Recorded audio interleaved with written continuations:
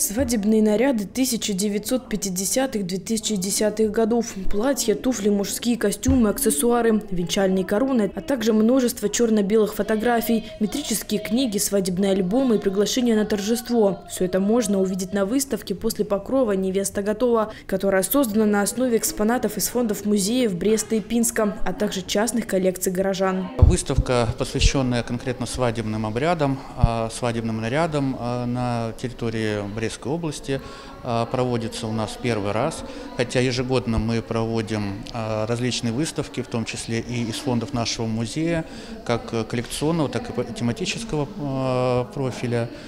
Фонды нашего музея позволяют нам формировать различные временные экспозиции на основе коллекции наших, нашего музея. Сегодня мы храним более 175 тысяч предметов основного фонда, но и можем комплектовать такие выставки, в том числе и данные узкой направленности, как свадебные обряды. Данная выставка она насчитывает около 300 предметов, как из наших фондов, так и те предметы, которые э, передали нам на временное экспонирование жители города Бреста.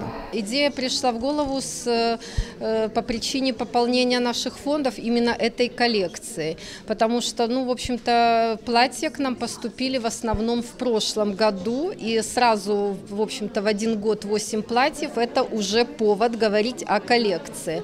Здесь у нас сегодня представлено их 15, и платья, которые характеризуют не современные современное время, а именно уже то время, которое стало нашей историей.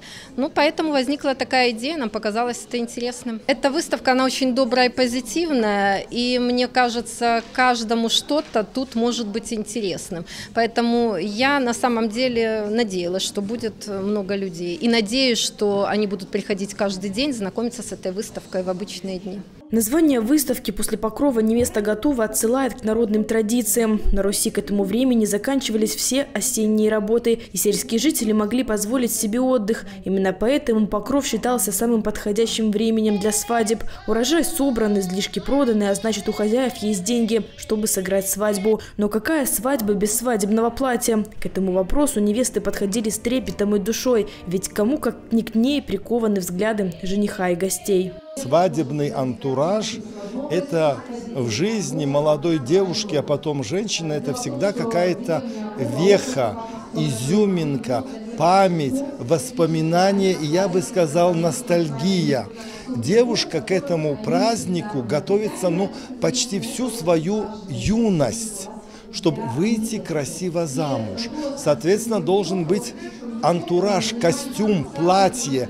Поэтому это и мода, и э, тенденции этнической местности, где она проживала, это декоративно-прикладное искусство, это моделирование от высокого уровня брендовых фирм до местных маленьких кутюрье в деревне и в городе. Поэтому это всегда привлекательно, особенно если показаны годы развития свадебного платья. Платья 20-х годов были, как правило, короткими, с подолом разной длины. К ним, как правило, прилагалась свадебная вуаль или шляпка. Большинство были белыми, хотя также встречались оттенки слоновой кости. В 50-е 60-е годы 20 века невесты отдавали предпочтение моделям в стиле мини, а в 1970-х, наоборот, пользовались популярностью свадебные платья в пол. Как правило, они были из гипюра с простым кроем, но это компенсировалось длиной, фатой и перчатками. В 1980 70-е многие девушки и женщины вдохновлялись свадебным нарядом принцессы Дианы.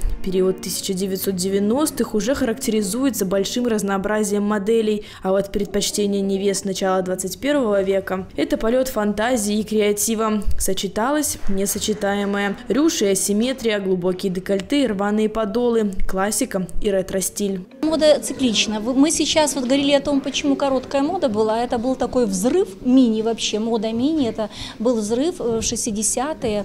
И то, что свадебные платья э, появились именно коротенькие, мини, ну там кто-то чуть э, там до середины коленка, э, колена, кто-то еще короче, это было закономерно, потому что это был взрыв. Вот, мини. Шляпки, но это уже было так, кому-то нравилось, кому-то нет, но мини вот именно этим объясняю. А вообще, конечно, мода есть мода, она меняется, и свадебная мода тоже. Интересные модели с хорошим дизайном, а нет уже разницы, они лаконичны или очень э, насыщены декором. Понимаете, шедевр, он всегда шедевр. После покрова невеста готова. Так что, милые незамужние брещанки, если вы не можете определиться с платьем своей мечты, то до декабря у вас еще есть время заглянуть в Краеведческий музей на выставку свадебных платьев разных годов и найти свое, то единственное.